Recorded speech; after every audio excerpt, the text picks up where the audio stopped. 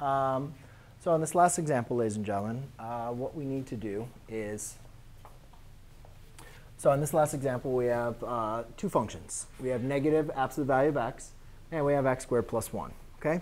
So when we're looking into doing a problem like this, um, basically what we want to do is graph both of them separately.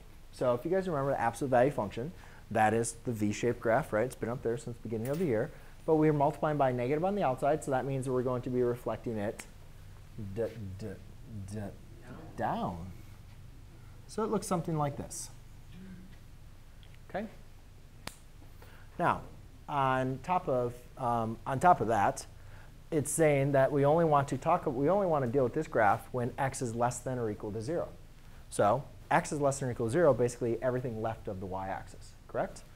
So that means everything to the right of the y-axis is not going to be included as far as my graph. 0 is included. The next one, x squared plus 1. That's a quadratic, right? You guys have been doing this since Algebra 1, quadratics. And we have x squared plus 1. That basically means you're taking the quadratic function, nice little parabola, but you're just shifting it up 1. However, this is saying only are we going to talk about this function for when x is greater than 0. So everything, x is only greater than 0 for all values to the right of the y-axis. So I'm going to erase that, and I'm going to put a nice little hole there.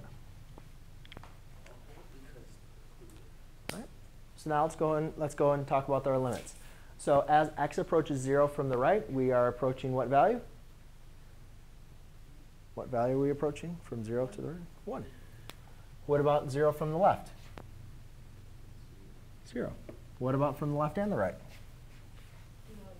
Does not exist. So if you have a piecewise function, just graph them separately. Okay?